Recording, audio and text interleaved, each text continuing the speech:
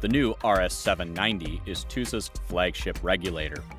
Its first stage, the R700, is a balanced diaphragm design with a dry ambient pressure chamber for cold water diving. Its ribbed top cap nearly doubles the surface area for thermal exchange, which is all important for minimizing freeze-ups in ultra-cold conditions. The first stage offers two high-pressure and four low-pressure ports, two of which are high flow.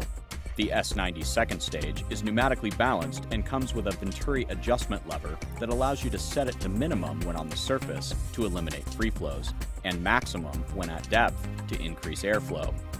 The RS790 is available in both yoke and DIN versions. The bottom line, in cold or contaminated waters, having a sealed first stage keeps water out for reliable air delivery.